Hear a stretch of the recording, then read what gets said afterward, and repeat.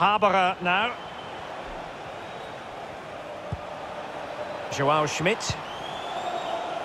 On the ball, Haystad. Couldn't keep it.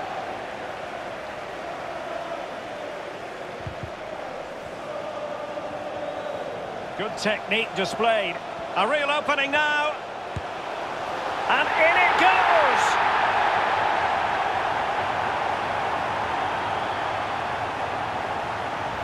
Well, let's see that again. Once he gets into his stride, he just strolls past players. What a lovely solo. Wonderful effort this is. Well, let's go back to the goal that was scored.